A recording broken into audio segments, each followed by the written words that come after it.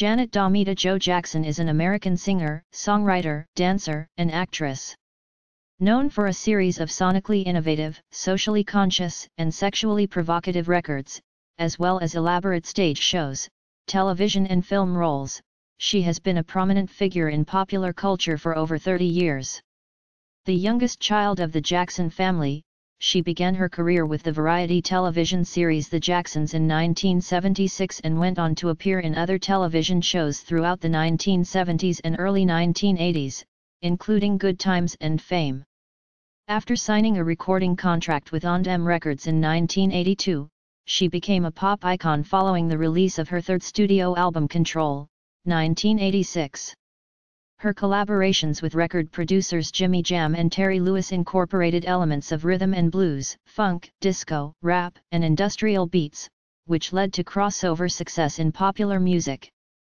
In addition to recognition for the innovation in her records, choreography, music videos, and prominence on radio airplay and MTV, she was acknowledged as a role model for her socially conscious lyrics.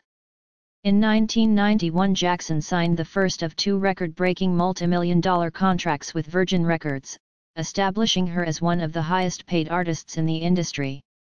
Her debut album under the label, Janet, 1993, saw her develop a public image as a sex symbol as she began to explore sexuality in her work. That same year, she appeared in her first starring film role in Poetic Justice, she has continued to act in feature films. By the end of the 1990s, she was the second most successful recording artist of the decade. The release of her seventh studio album All For You, 2001, coincided with a celebration of her impact on popular music as the inaugural MTV icon. After parting ways with Virgin she released her 10th studio album, Discipline, 2008, her first and only album with Island Records. In 2015 she partnered with BMG Rights Management to launch her own record label, Rhythm Nation, and released her 11th studio album Unbreakable the same year. Having sold over 100 million records, Jackson is one of the best-selling artists in the history of contemporary music. She has amassed an extensive catalog, with singles such as Nasty, Rhythm Nation, That's the Way Love Goes, Together Again and All For You among her signature songs, she holds the record for the most consecutive top 10 hits on the US Billboard Hot 100 singles chart by a female artist with 18. In 2016, Billboard placed her number 7 on its list of the Hot 100 all-time top artists, and in 2010 ranked her 5th among the top 50 ranked hip-hop artists of the past 25 years. In December 2016, the magazine named her the second most successful dance artist of all time. One of the world's most awarded artists, Jackson's longevity, records, and achievements reflect her influence in shaping and redefining the scope of popular music. She has been cited as an inspiration among numerous performers. Life and Career 1966–1985, Early Life and Career Beginnings Janet Jackson was born in Gary, Indiana, the youngest of ten children, to Catherine Esther, née Screws, and Joseph Walter Jackson. The Jacksons were lower middle class and devout Jehovah's Witnesses, although Jackson would later refrain from organized religion. At a young age, her brothers began performing as the Jackson Five in the Chicago-Gary area. In March 1969, the group signed a record deal with Motown, and soon had their first number one hit. The family then moved to the Encino neighborhood of Los Angeles. Jackson had initially desired to become a horse racing jockey or entertainment lawyer, with plans to support herself through acting. Despite this, she was anticipated to pursue a career in entertainment, and considered the idea after recording herself in the studio. At age 7, Jackson performed at the Las Vegas Strip at the MGM Casino. A biography revealed her father, Joseph Jackson, was emotionally withdrawn, and told her to address him solely by his first name as a child. She began acting in the variety show The Jacksons in 1976. In 1977, she was selected to have a starring role as Penny Gordon Woods in the sitcom. Good Times. She later starred in A New Kind of Family and later got a recurring role on Diff'rent Strokes, portraying Charlene Dupre from seasons 3 to 6. Jackson also played the role of Cleo Hewitt during the fourth season of Fame, but expressed indifference towards the series. When Jackson was 16, her father and manager Joseph Jackson, arranged a contract for her with A&M Records. Her debut album, Janet Jackson, was released in 1982. It was produced by Angela Winbush, Renee Moore, Bobby Watson of Rufus and Leon F. Sylvers 3, and overseen by her father Joseph. It peaked at number 63 on the Billboard 200, and number 6 on the publication's R&B Albums chart, receiving little promotion. Jackson's second album, Dream Street, was released two years later Dream Street reached 147 on the Billboard 200, and number 19 on the R&B Albums chart. The lead single Don't Stand Another Chance peaked at number 9 on Billboard's R&B Singles chart. Both albums consisted primarily of bubblegum pop music. Jackson eloped with singer James DeBarge in 1984, divorcing shortly afterwards, with the marriage annulled the following year. 1986–1988, Control. After her second album, Jackson terminated business affairs with her family, commenting I just wanted to get out of the house, get out from under my father, which was one of the most difficult things that I had to do. Attempting a third album, Jackson teamed with producers Jimmy Jam and Terry Lewis. They set out to achieve crossover pop appeal, while also creating a strong foundation within the urban market. Within six weeks, Jackson and the duo crafted her third studio album, Control, released in February 1986. The album peaked at number one on the Billboard 200, and was certified five-fold platinum by the RIAA, selling over 10 million copies worldwide.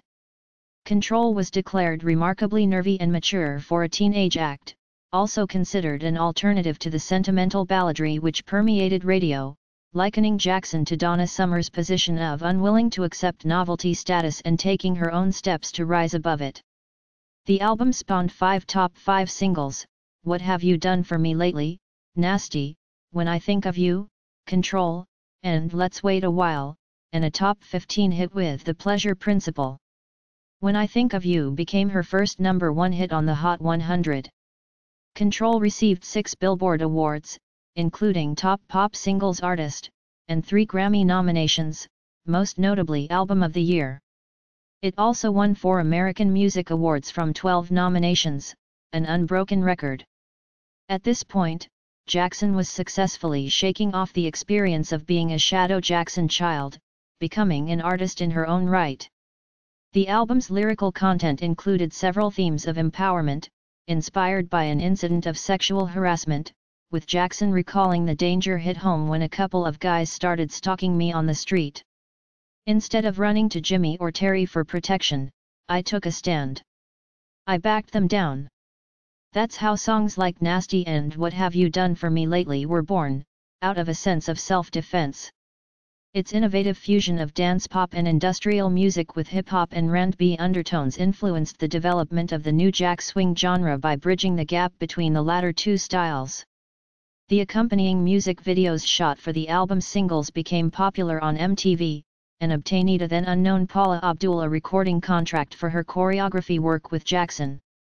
Billboard stated Jackson's accessible sound and spectacularly choreographed videos were irresistible to MTV, and helped the channel evolve from rock programming to a broader, beat-driven musical mix. 1989–1992, Janet Jackson's Rhythm Nation 1814 Jackson released her fourth album, Rhythm Nation 1814 in September 1989. Although her record label desired a direct sequel to Control, Jackson chose to include a socially conscious theme among various musical styles. She stated, I know an album or a song can't change the world. I just want my music and my dance to catch the audience's attention, and to hold it long enough for them to listen to the lyrics. The album's central theme of unity was developed in response to various crimes and tragedies reported in the media. Peaking at number one on the Billboard 200, the album was certified six-fold platinum by the RIAA and sold over 20 million copies internationally Rolling Stone observed Jackson's artistic growth shifted from personal freedom to more universal concerns injustice, illiteracy, crime, drugs without missing a beat. The album was also considered the exclamation point on her career, consisting of a diverse collection of songs flowing with the natural talent Jackson possesses, which effectively expanded Janet's range in every conceivable direction, being more credibly feminine, more crucially masculine, more viably adult, more believably childlike. With singles Miss You Much, Rhythm Nation, Escapade, Alright, Come Back to Me, Black Cat and Love Will Never Do, Without You, it became the only album in history to produce number one hits in three separate calendar years, as well as the only album to achieve seven top five singles on the Hot 100. Famous for its choreography and warehouse setting, the Rhythm Nation video is considered one of the most iconic and popular in history, with Jackson's military ensemble also making her a fashion icon. The video for Love Will Never Do, Without You, is notable for being the first instance of Jackson's transition into sexual imagery and midriff-bearing style, becoming her trademark. Rhythm Nation 1814 became the highest-selling album of 1990, winning a record 15 Billboard Awards. The long-form Rhythm Nation music video won a Grammy Award. Jackson's Rhythm Nation World Tour 1990 became the most successful debut tour in history and set a record for the fastest sellout of Japan's Tokyo Dome. She established the Rhythm Nation Scholarship, donating funds from the tour to various educational programs.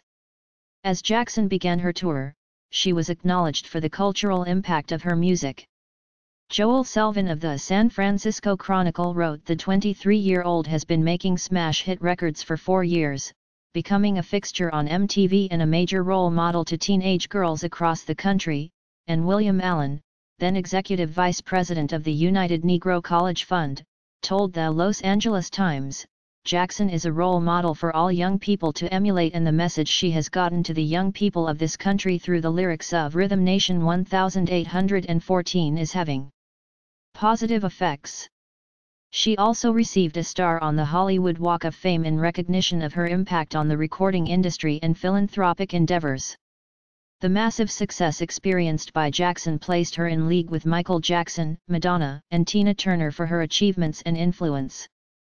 Ebony magazine remarked, No individual or group has impacted the world of entertainment as have Michael and Janet Jackson, arguing that despite many imitators, few could surpass Jackson's stunning style and dexterity. With her recording contract under A&M Records fulfilled in 1991, she signed a multi-million dollar deal with Virgin Records estimated between 32 to 50 million dollars making her the highest paid recording artist at the time. The recording contract also established her reputation as the Queen of Pop. In 1992, Jackson provided guest vocals on Luther Vandross's The Best Things in Life Are Free, becoming a top 10 Billboard hit and reaching the top 10 internationally. 1993-1996, Janet, Poetic Justice, and Design of a Decade. Jackson's fifth studio album Janet, stylized as Janet. and read Janet, period, was released in May 1993. The record opened at number 1 on the Billboard 200, making Jackson the first female artist in the Nielsen SoundScan era to do so. Certified six-fold platinum by the RIAA, it sold over 14 million copies worldwide. Janet spawned five singles and four promotional singles, receiving various certifications worldwide. Lead single That's the Way Love Goes won the Grammy Award for Best R&B Song and topped the Billboard Hot 100 for eight consecutive weeks. Again reached number one for three weeks, while If and Anytime, Any Place peaked in the top four. Because of Love and You Want This charted within the top 10. The album experimented with a diverse number of genres, including contemporary R&B, deep house, swing jazz, hip-hop, rock, and pop, with Billboard describing each as being delivered with consummate skill and passion.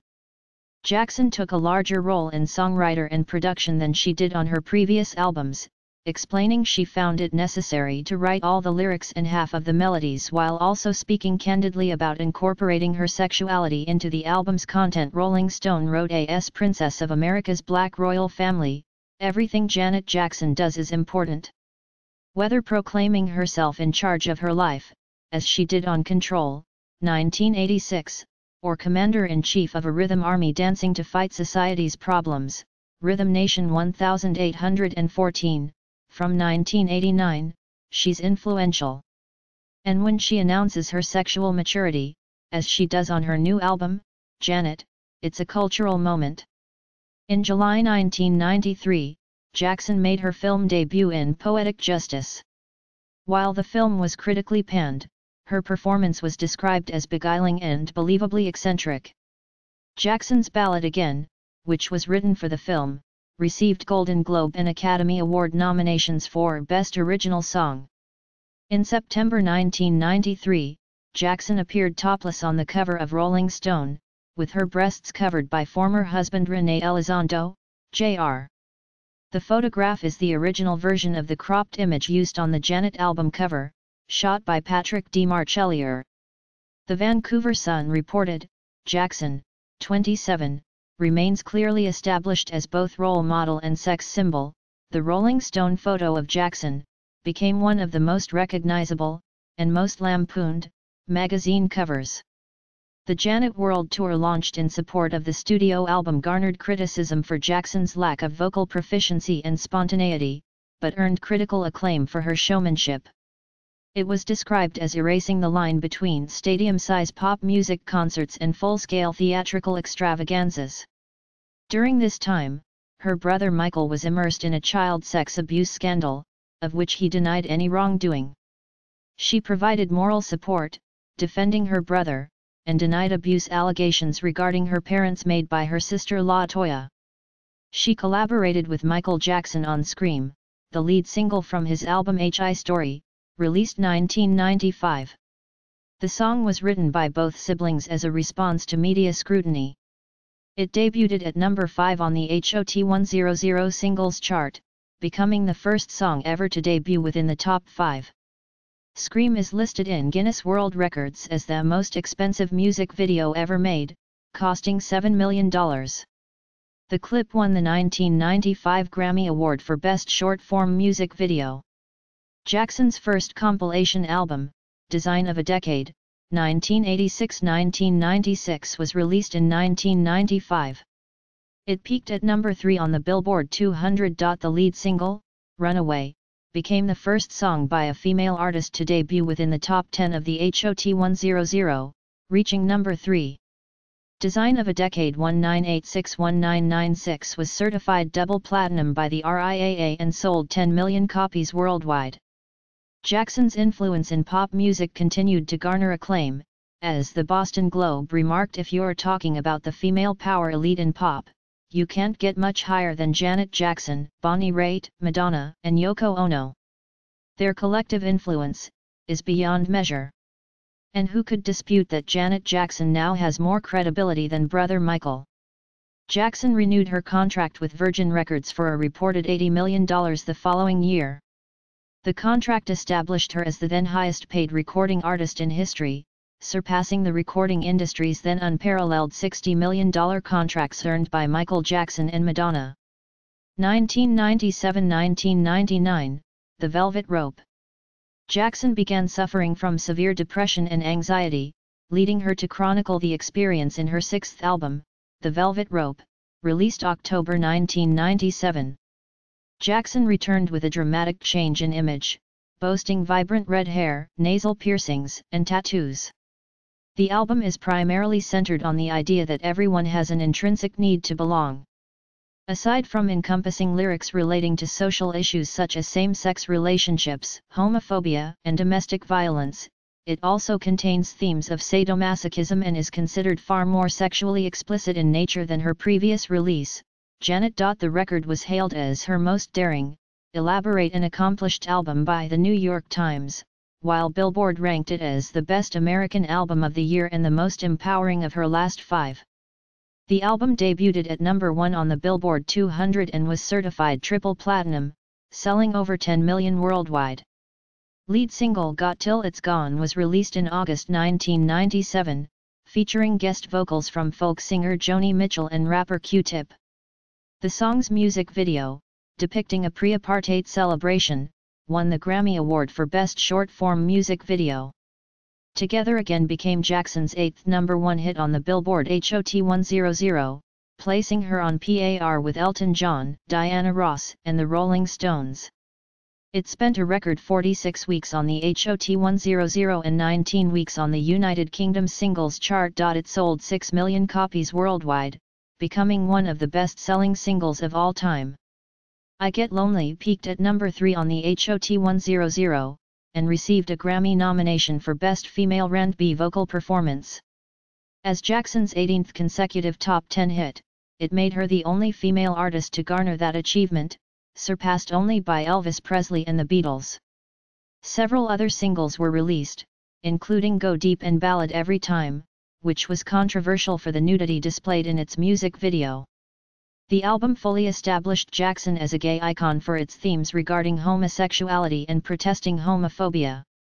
Together Again, a post-AIDS pop song, and Free Coney, considered a paean to homosexuality and an anti-homophobia track, were praised for their lyrical context, in addition to Jackson's lesbian reinterpretation of Rod Stewart's Tonight's the Night. The Velvet Rope received an award for Outstanding Music Album at the 9th Annual GLAAD Media Awards and was honored by the National Black Lesbian and Gay Leadership Forum. A portion of the proceeds from Together Again were donated to the American Foundation for AIDS Research. Jackson embarked on the Velvet Rope World Tour, traveling to Europe, North America, Asia, Africa, New Zealand, and Australia. The tour received praise for its theatrics, choreography, and Jackson's vocal performance. It was likened to the ambition and glamour of a Broadway musical, and exclaimed as only fitting that the concert program credits her as the show's creator and director. The tour's HBO special, The Velvet Rope, live in Madison Square Garden, garnered more than 15 million viewers.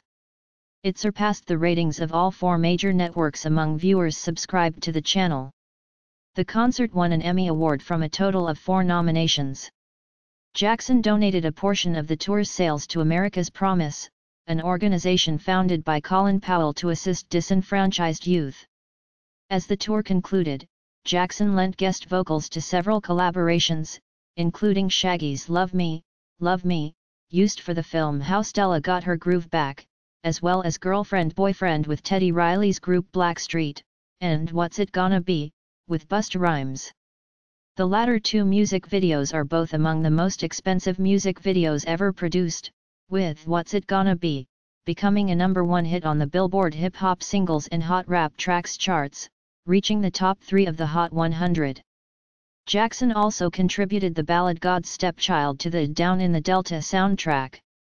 Jackson recorded a duet with Elton John titled I Know the Truth, included on the soundtrack to Elton John and Tim Rice's Aida.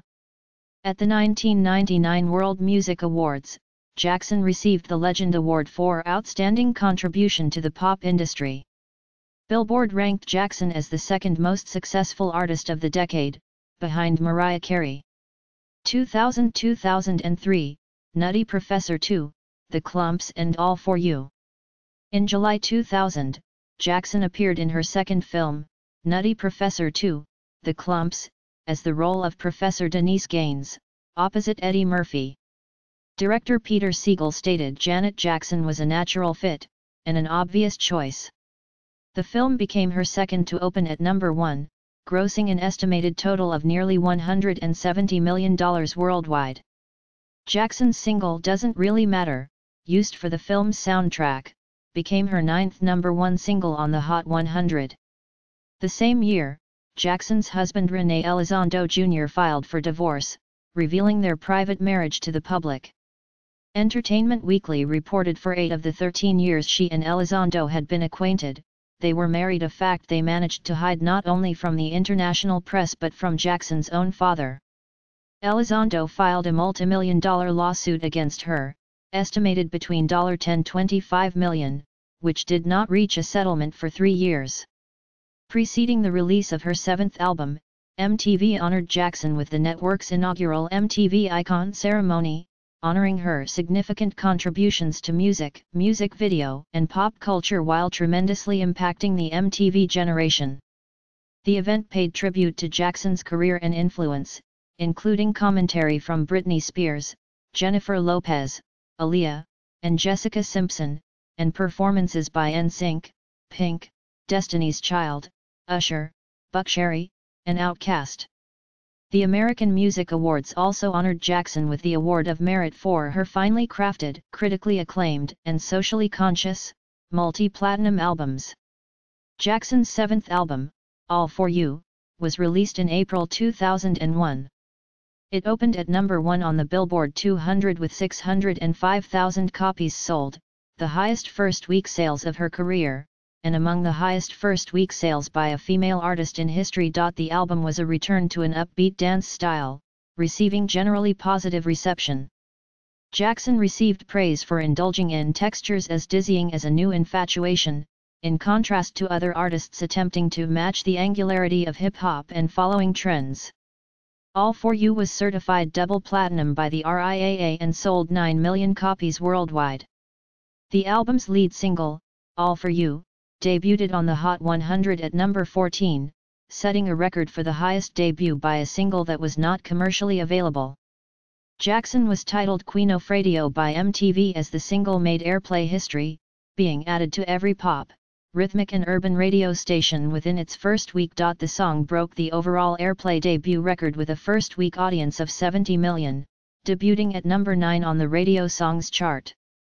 It topped the Hot 100 for seven weeks, also reaching the top 10 in 11 countries. The song received a Grammy Award for Best Dance Recording.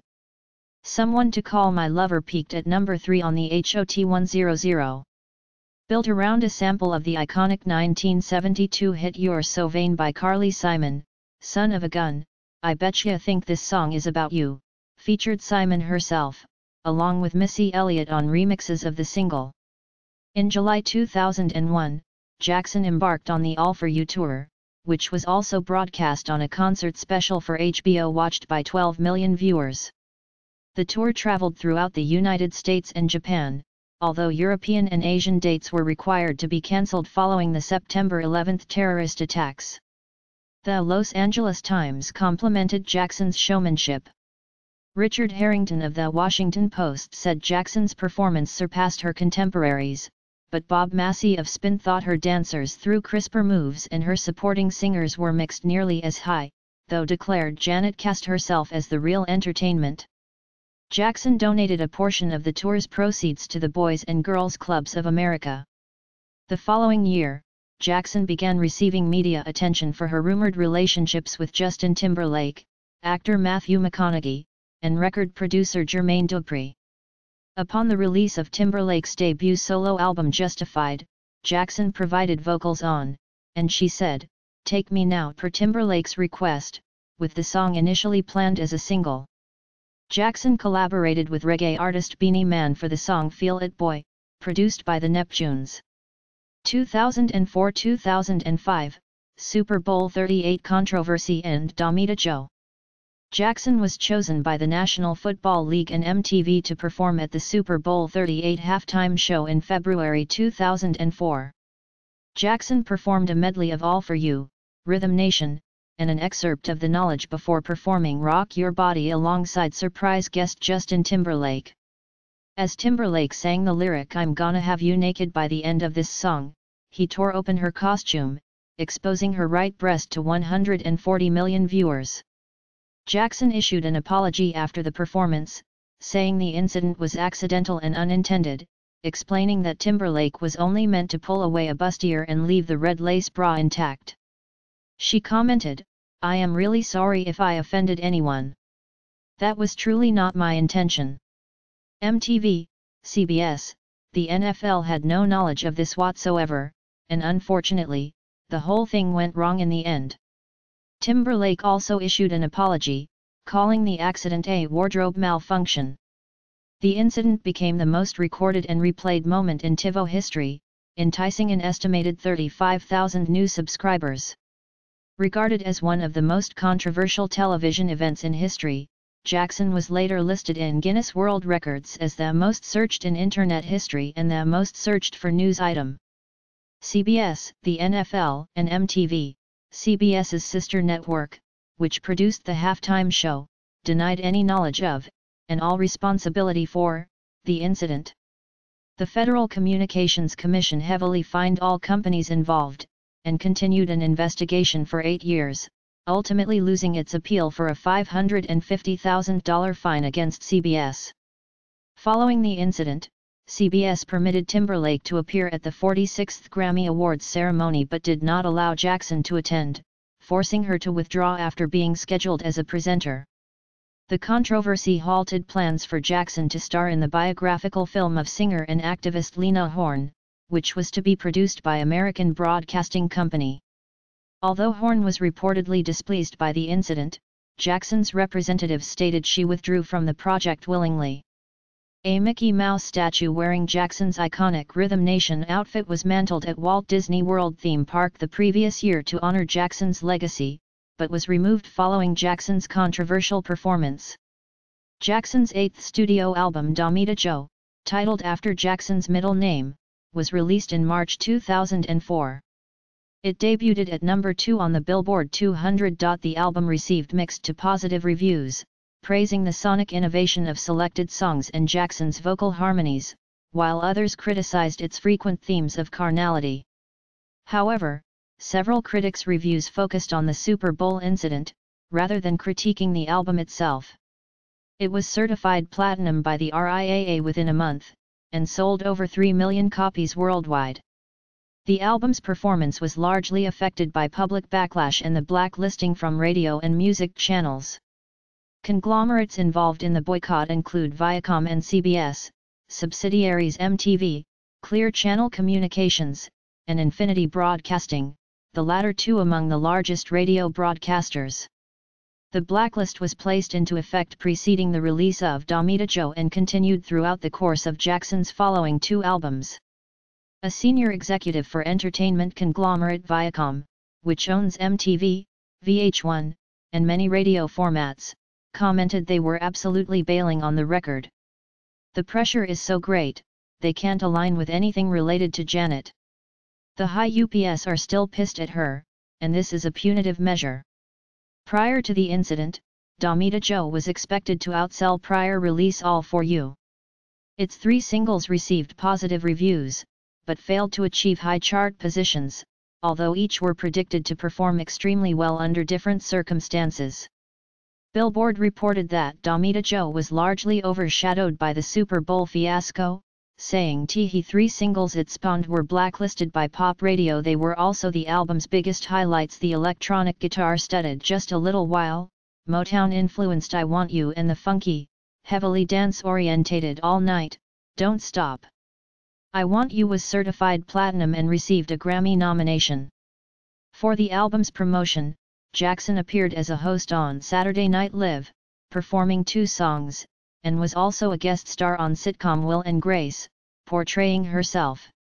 Jackson received several career accolades upon the album's release, including the Legend Award at the Radio Music Awards, Inspiration Award from the Japan Video Music Awards, Lifetime Achievement Award at the Soul Train Music Awards, and a Teen Choice Awards nomination for Favorite Female.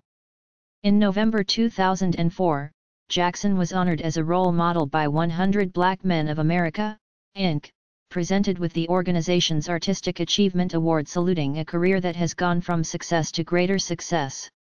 In response to criticism for honoring Jackson in light of the Super Bowl incident, the organization responded an individual's worth can't be judged by a single moment in that person's life. In June 2005, she was honored with a humanitarian award by the Human Rights Campaign and AIDS Project Los Angeles as recognition for her involvement in raising money for AIDS charities. 2006-2007, 20Y.O and Why Did I Get Married? Jackson began recording her ninth studio album, 20Y.O, in 2005. She recorded with producers Dupri, Jam and Lewis for several months during the following year.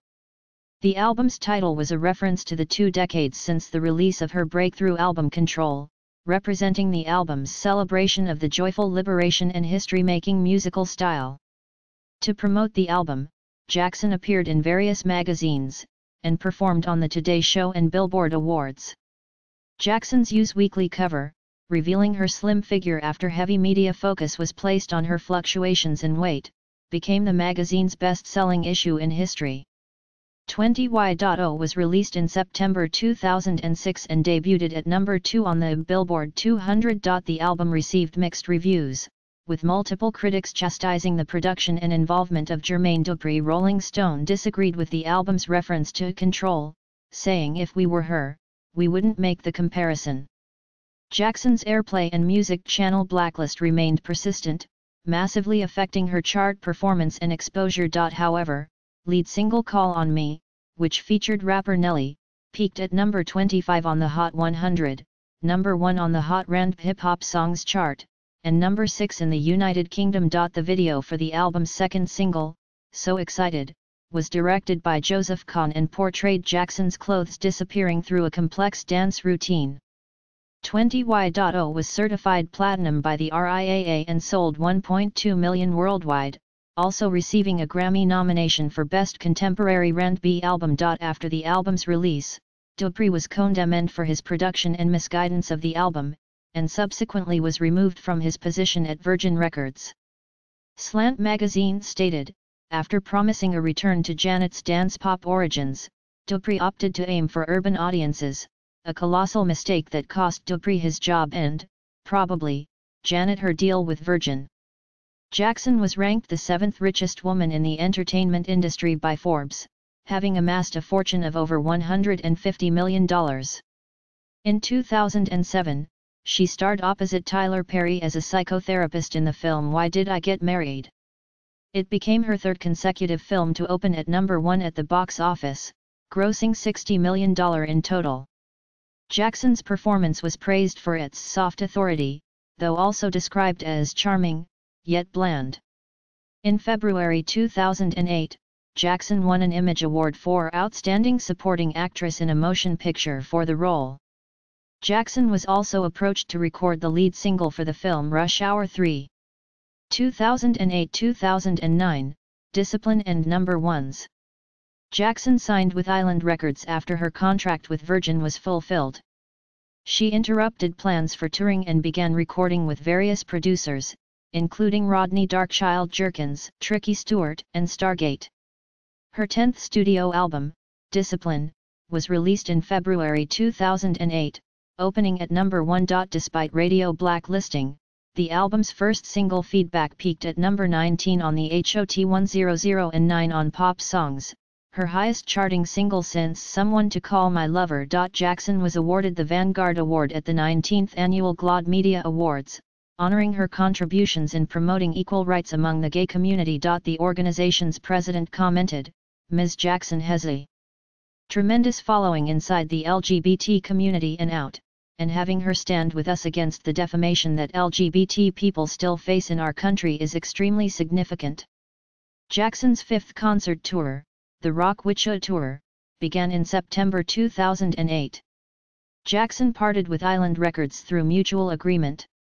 Billboard disclosed Jackson was dissatisfied with L.A. Reid's handling of the album and its promotion, saying the label agreed to dissolve their relationship with the artist at her request. Producer Rodney Jerkins expressed I felt like it wasn't pushed correctly. She just didn't get her just due as an artist of that magnitude. In June 2009, Jackson's brother Michael died at age 50. She spoke publicly concerning his death at the 2009 BET Awards, stating I'd just like to say, to you, Michael is an icon, to us, Michael is family. And he will forever live in all of our hearts. On behalf of my family and myself, thank you for all of your love, thank you for all of your support. We miss him so much. In an interview, she revealed she had first learned of his death while filming Why Did I Get Married Too? Amidst mourning with her family, she focused on work to deal with the grief, avoiding any news coverage of her sibling's death. She commented, It's still important to face reality, and not that I'm running, but sometimes you just need to get away for a second. During this time, she ended her seven-year relationship with Jermaine Dupri. Several months later, Jackson performed a tribute to Michael at the 2009 MTV Video Music Awards, performing their duet Scream. MTV stated there was no one better than Janet to anchor it and send a really powerful message. The performance was lauded by critics, with Entertainment Weekly affirming the rendition as energetic as it was heartfelt. Jackson's second hits compilation, Number Ones, retitled The Best for International Releases, was released in November 2009. For promotion, she performed a medley of hits at the American Music Awards, Capital FM's Jingle Bell Ball at London's O2 Arena, and The X Factor. The album's promotional single Make Me, produced with Rodney Darkchild Jerkins, debuted in September. It became Jackson's 19th number one on the Hot Dance Club Songs chart, making her the first artist to have number one singles in four separate decades. Later that month, Jackson chaired the inaugural benefit of AMFAR, the Foundation for AIDS Research, held in Milan in conjunction with Fashion Week. The foundation's CEO stated We are profoundly grateful to Janet Jackson for joining AMFAR as a chair of its first event in Milan. She brings incomparable grace and a history of dedication to the fight against AIDS. The event raised a total of $1.1 million for the nonprofit organization. 2010-2014, Film Projects, True You, Concert Tour, and Philanthropy. In April 2010, Jackson reprised her role in the sequel to Why Did I Get Married, titled Why Did I Get Married 2. The film opened at number 2, grossing 60 million in total. Jackson's performance was hailed as invigorating and oddly funny, and praised for her willingness to be seen at her most disheveled. Her performance earned an Image Award for Outstanding Actress in a Motion Picture. Jackson recorded the film's theme, Nothing, released as a promotional single. The song was performed on the ninth season finale of American Idol along with Again and Nasty. In July, Jackson modeled for the Blackglama clothing line featuring mink fur. Jackson then helped design a signature line of clothing and accessories for Blackglama, to be sold at Saks Fifth Avenue and Bloomingdale's. Universal Music released the hits compilation Icon, number ones as the debut of the Icon compilation series. In November 2010, Jackson starred as Joanna in the drama For Colored Girls, the film adaptation of Ntozake Shange's 1975 play for colored girls who have considered suicide when the rainbow is enough. The Wall Street Journal stated Jackson recites verses written by Ntozake Shange, the author of the play that inspired the film. But instead of offering up a mannered coffeehouse reading of the lines, Jackson makes the words sound like ordinary though very eloquent speech. Jackson's portrayal the film was likened to Meryl Streep as Miranda Priestly in The Devil Wears Prada. Her performance earned Black Reel Awards nominations in the categories of Outstanding Supporting Actress and Outstanding Ensemble. Jackson announced plans to embark on her largest world tour in support of her second hits collection, Number Ones. The tour, entitled Number Ones, Up Close and Personal, held concerts in 35 global cities, selected by fans who submitted suggestions on her official website. During the tour, Jackson performed 35 number one hits and dedicated a song to each city. Mattel released a limited edition Barbie of Jackson titled Divinely Janet, auctioned for over $15,000, with proceeds donated to Project Angel Food. Jackson released the self-help book True You, A Journey to Finding and Loving Yourself in February 2011, CO written with David Ritz. It chronicled her struggle with weight and confidence, also publishing letters from fans. It topped the New York Times bestseller list the following month. Additionally, she signed a film production contract with Lionsgate Entertainment to select, develop, and produce a feature film for the independent studio.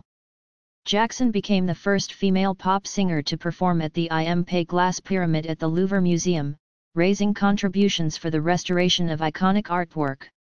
Jackson was selected to endorse fashion line Blackglama for a second year, being the first celebrity in the line's history chosen to do so. She partnered with the label to release a 15-piece collection of luxury products. In 2012, Jackson endorsed Nutrisystem, sponsoring their weight loss program after struggling with weight fluctuations in the past. With the program, she donated $10 million in meals to the hungry. Dot she was honored by AMFAR for her contributions to AIDS research when chairing the Cinema Against AIDS Gala during the Cannes Film Festival. She also participated in a public service announcement for UNICEF to help starving children. In February 2013, Jackson announced she was married to her third husband, Qatari businessman Wissam Al Mana, during a private ceremony the previous year.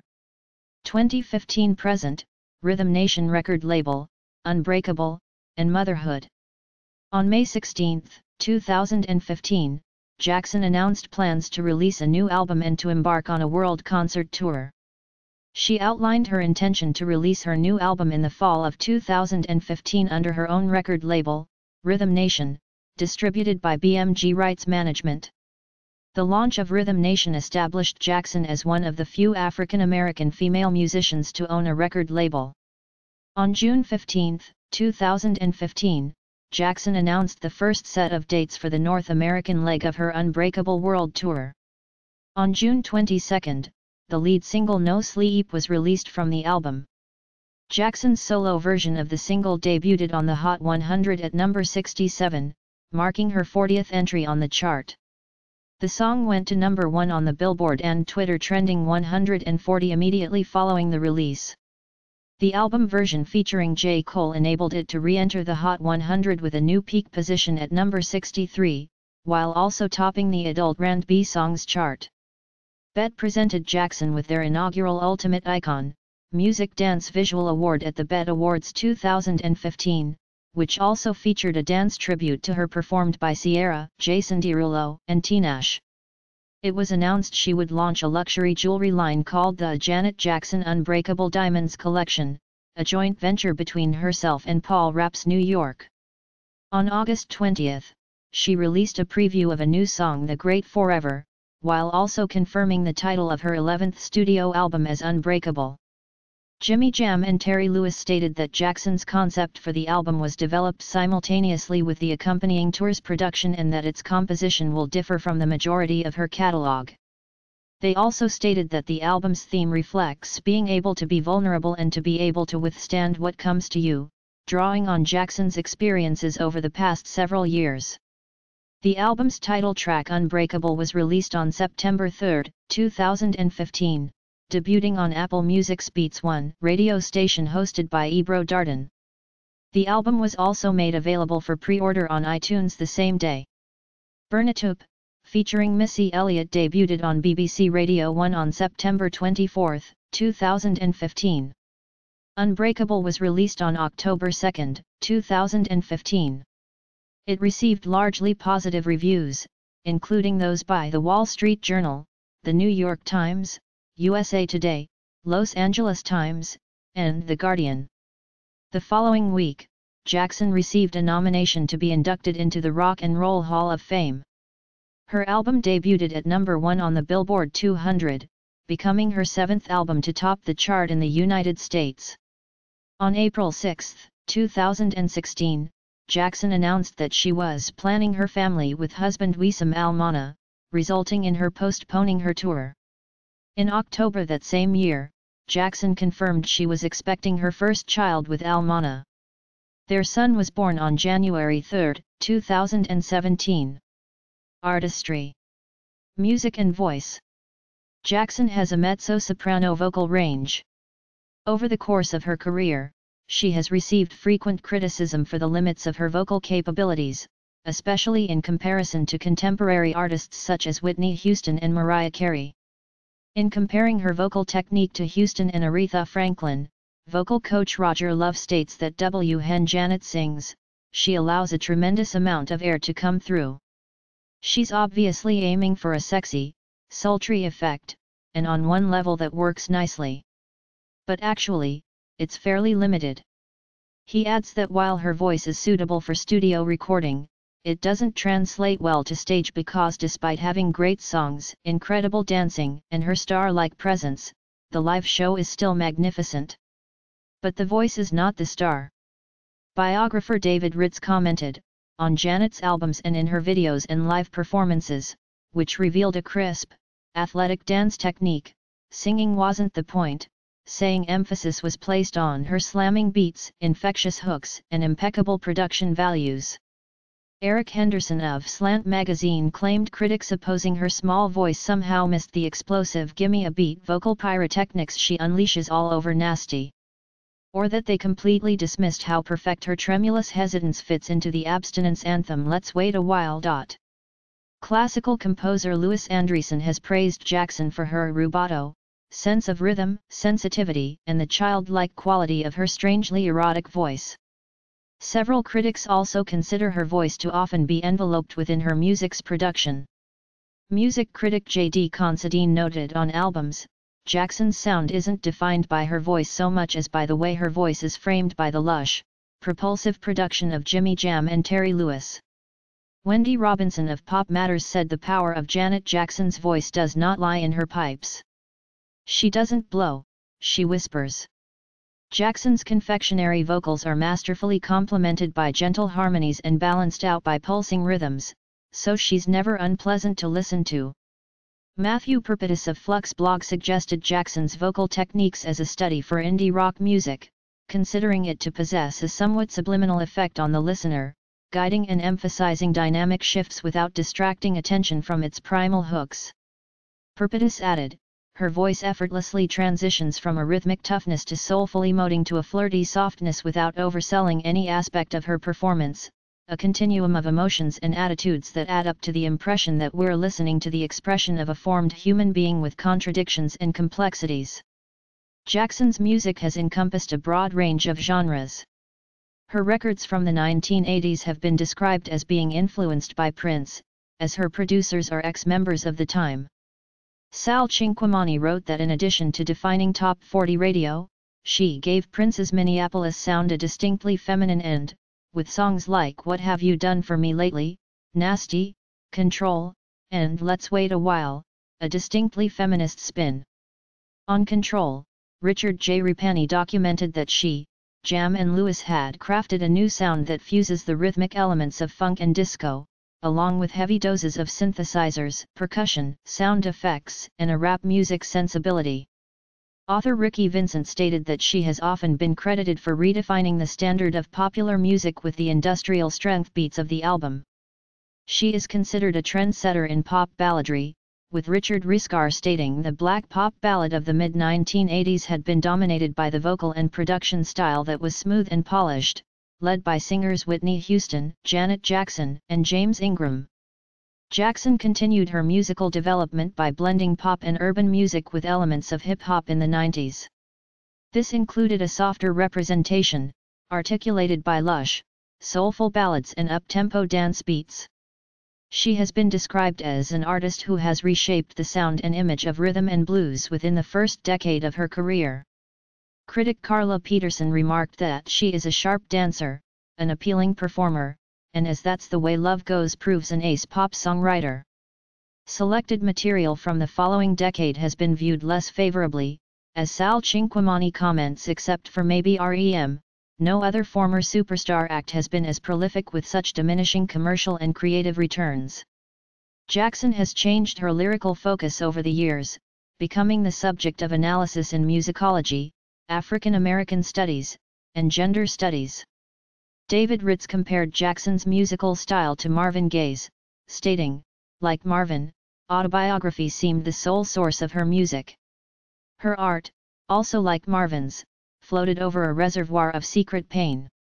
Much of her success has been attributed to a series of powerful, metallic grooves, her chirpy, multi-tracked vocals, and a lyrical philosophy built on pride and self-knowledge.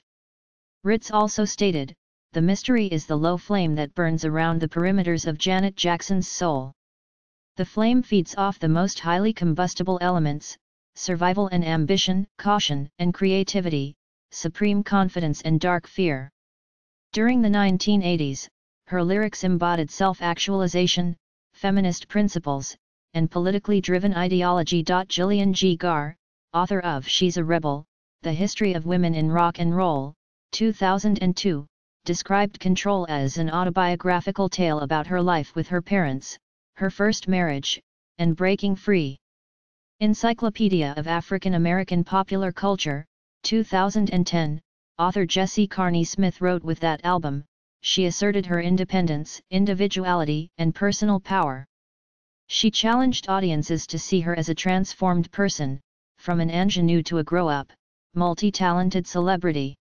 Referring to Rhythm Nation 1814 as an embodiment of hope, Timothy E. Scheurer, author of Born in the USA, The Myth of America in Popular Music from Colonial Times to the Present, 2007, wrote it may remind some of Sly Stone prior to There's a Riot Going On and other African American artists of the 1970s in its tacit assumption that the world imagined by Dr. King is still possible, that the American dream is a dream for all people. On Janet, Jackson began focusing on sexual themes. Shayne Lee, author of Erotic Revolutionaries, Black Women, Sexuality and Popular Culture, 2010, wrote that her music over the following decade branded her as one of the most sexually stimulating vocalists of the 1990s.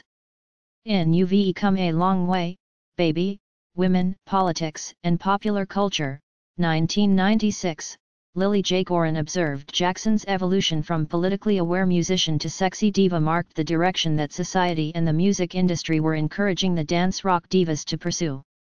The Washington Post declared Jackson's public image over the course of her career had shifted from innocence to experience, inspiring such carnal albums as 1993's Janet and 1997's The Velvet Rope, the latter of which explored the bonds figuratively and literally of love and lust. The song Free Xone from The Velvet Rope, which portrays same-sex relationships in a positive light, is described by sociologist Shayne Lee as a rare incident in which a popular black vocalist explores romantic or sensual energy outside the contours of heteronormativity, making it a significant song in black sexual politics. During promotion for Janet, she stated I love feeling deeply sexual and don't mind letting the world know.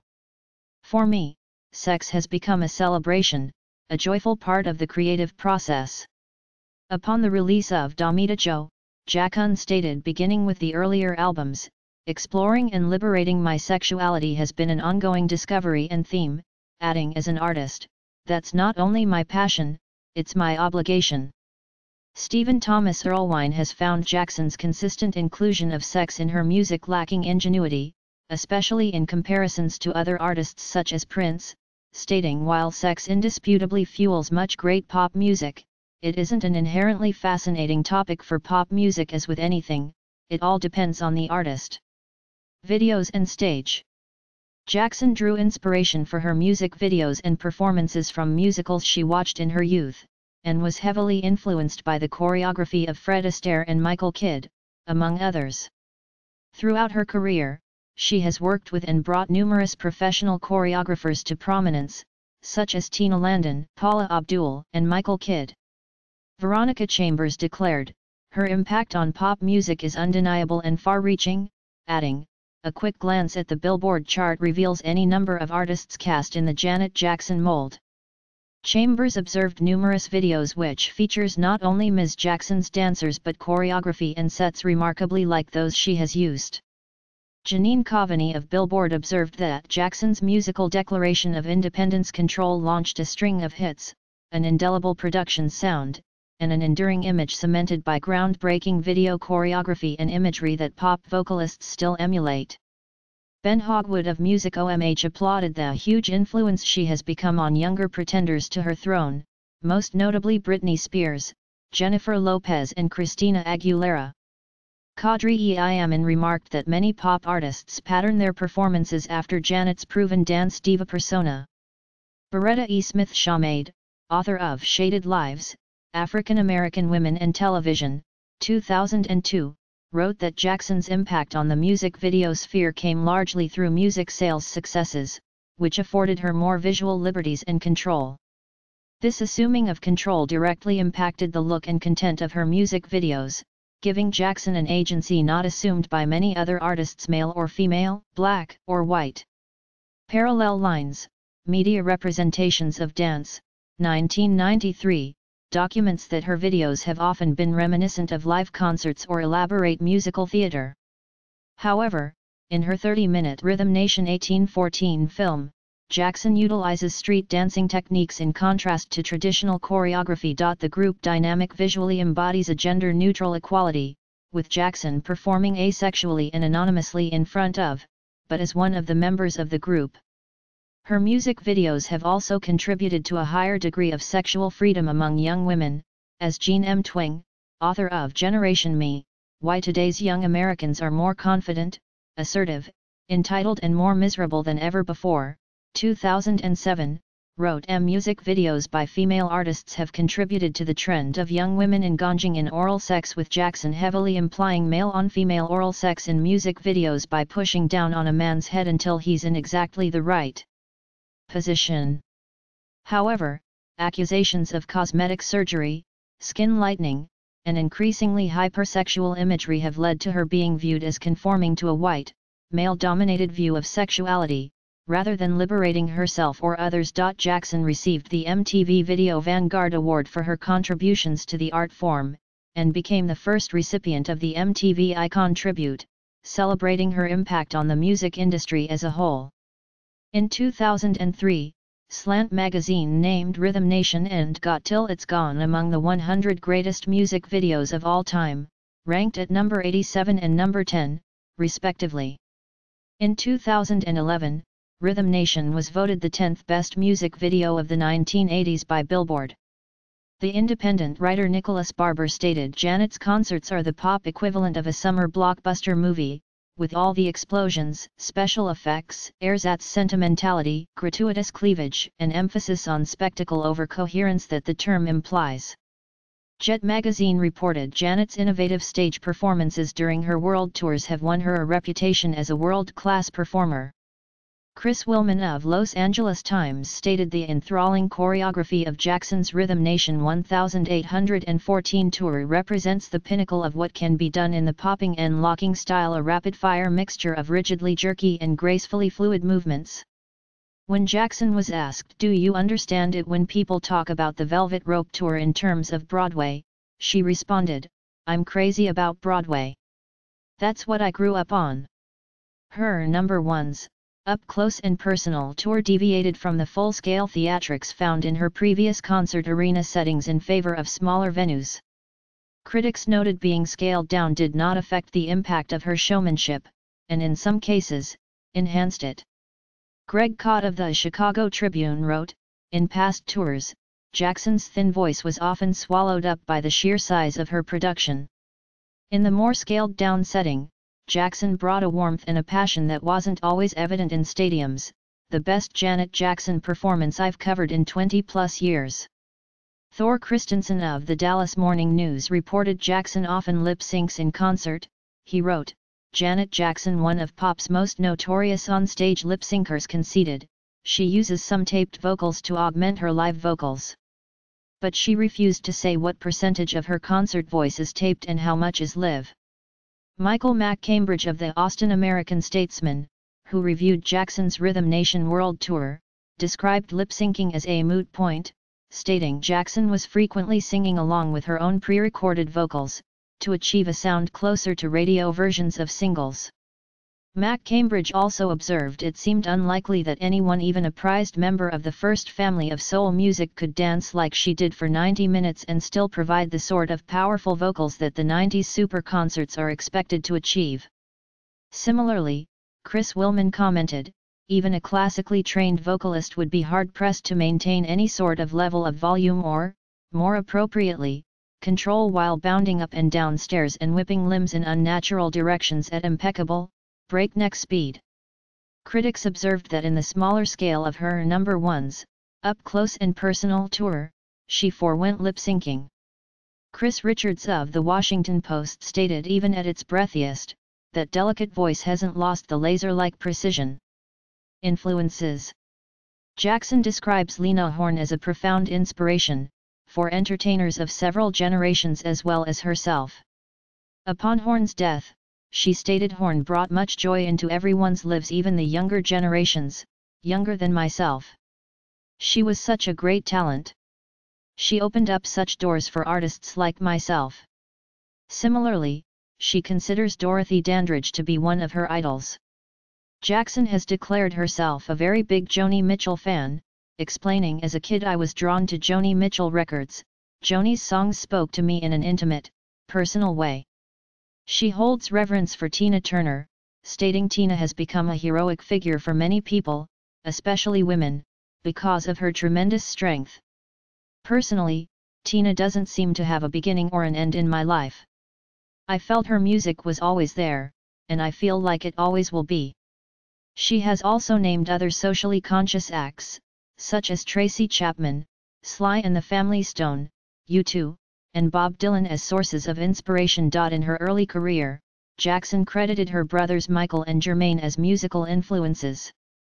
According to Rolling Stone and MTV, other artists attributed as influences are the Ronettes, Dionne Warwick, Tammy Terrell, Diana Ross, Chaka Khan, Stevie Wonder, Teena Marie, Michael Jackson, Prince, and Tina Turner. Legacy The youngest sister of the Precious Jackson clan, Janet Jackson has striven to distance her professional career from that of her older brother Michael and the rest of the Jackson family. Steve Dollar of Newsday wrote that as he projects that home girl next door quality that belies her place as the youngest sibling in a family whose inner and outer lives have been as poked at, gossiped about, docudramatized and hard-copied as the Kennedys. Philip McCarthy of the Sydney Morning Herald noted that throughout her recording career, one of her common conditions for interviewers has been that there would be no mention of Michael. Joshua Klein wrote, F for the first half of her recording career, Janet Jackson sounded like an artist with something to prove. Emerging in 1982 just as Big Brother Michael was casting his longest shadow, Jackson filled her albums not so much with songs as with declarations, from the pleasure principle to the radical sounding Rhythm Nation to the telling statement of purpose, control. Steve Huey of AllMusic asserted that despite being born into a family of entertainers, Janet Jackson has managed to emerge a superstar in her own right, rivaling not only several female recording artists including Madonna and Whitney Houston, but also her brother, while successfully shifting her image from a strong, independent young woman to a sexy, mature adult. By forging her own unique identity through her artistry and her business ventures, she has been esteemed as the queen of pop. Klein argued that stardom was not too hard to predict, but few could have foreseen that Janet Miss Jackson, if you're nasty would one day replace Michael as true heir to the Jackson family legacy. Jackson has also been recognized for playing a pivotal role in crossing racial boundaries in the recording industry, where black artists were once considered to be substandard. In Right to Rock, The Black Rock Coalition and the Cultural Politics of Race, 2004, author Maureen Mahon states, in the 1980s, Whitney Houston, Michael Jackson, Janet Jackson, and Prince were among the African American artists who crossed over. When black artists cross over into pop success they cease to be black in the industry sense of the word. They get promoted from racialized black music to universal pop music in an economically driven process of racial transcendence. Routledge International Encyclopedia of Women, Global Women's Issues and Knowledge, 2000, documented that Jackson, along with other prominent African American women, had achieved financial breakthroughs in mainstream popular music, receiving superstar status in the process. She, alongside her contemporaries offered viable creative, intellectual, and business paths for establishing and maintaining agency, lyrical potency, marketing and ownership. Her business savvy has been compared to that of Madonna, gaining a level of autonomy which enables creative latitude and access to financial resources and mass market distribution. A model of reinvention, author Jessie Carney Smith wrote that Janet has continued to test the limits of her transformative power, receiving accolades in music, film, and concert tours throughout the course of her career. Musicologist Richard J. Ripani identified Jackson as a leader in the development of contemporary R&B, as her music created a unique blend of genre and sound effects which ushered in the use of rap vocals into mainstream R&B. He also argues her signature song Nasty influenced the new jack swing genre developed by Teddy Riley. Leon McDermott of the Sunday Herald wrote, her million-selling albums in the 1980s helped invent contemporary R&B through Jimmy Jam and Terry Lewis's muscular lean production, the sinuous grooves threaded through 1980's IXS Control and 1989's Rhythm Nation 1814 are the foundation upon which today's hotshot producers and singers rely. In Bring the Noise, 20 Years of Writing About Hip Rock and Hip Hop, 2011, Simon Reynolds described Jackson's collaborations with her record producers as a reinvention of the dance pop genre, introducing a new sonic palette. Ken Berry, Virgin Records CEO and chairman stated, Janet is the very embodiment of a global superstar. Her artistic brilliance and personal appeal transcend geographic, cultural and generational boundaries. In July 1999, she placed at number 77 on VH1's 100 Greatest Women of Rock and Roll. She also placed at number 134 on their list of the 200 greatest pop culture icons of all time, number 7 on the 100 greatest women in music, and at number 2 on the 50 greatest women of the video era, behind Madonna. In March 2008, Business Wire reported Janet Jackson is one of the top 10 selling artists in the history of contemporary music, ranked by Billboard magazine as the ninth most successful act in rock and roll history, and the second most successful female artist in pop music history. She is the only female artist in the history of the Hot 100 to have 18 consecutive top 10 hit singles, from Miss You Much, 1989, to I Get Lonely, 1998. The magazine ranked her at number 7 on their Hot 150th anniversary all-time top artists, making her the third most successful female artist in the history of the chart, following Madonna and Mariah Carey. In November 2010, Billboard released its Top 50 R&B Hip-Hop Artists of the Past 25 Years list and ranked her at number 5. She ranks as the top artist on the chart with 15 number ones in the past 25 years, garnering 27 top 10 hits between 1985 and 2001, and 33 consecutive top 40 hits from 1985 through 2004. Recipient of 10 Billboard Music Awards, she is one an elite group of musical acts, such as Madonna, Aerosmith, Garth Brooks, and Eric Clapton, whom Billboard credits for redefining the landscape of popular music. In November 2014, Jackson was voted Queen of Pop by a poll conducted online by VH1.com. In October 2015, she received her first nomination for induction into the Rock and Roll Hall of Fame. Jackson's music and choreography have inspired numerous performers. Virgin Records executive Lee Trink expressed, Janet is an icon and historic figure in our culture. She's one of those gifted artists that people look up to, that people emulate, that people want to believe in, there's not that many superstars that stand the test of time. Sarah Rodman of the Boston Herald remarked, For every hand fluttering, overwrought, melisma addict out there aping Mariah's dog calls, there's an equal number trying to match Jackson's bubbling grooves and fancy footwork, including Britney, Aaliyah, and Destiny's Child. Music critic Gene Stout commented she has so broadly influenced a younger generation of performers, from Jennifer Lopez, to Britney Spears, who has copied so many of Jackson's dance moves. NSYNC and Usher have credited her for teaching them how to develop stage show into theatrical performance.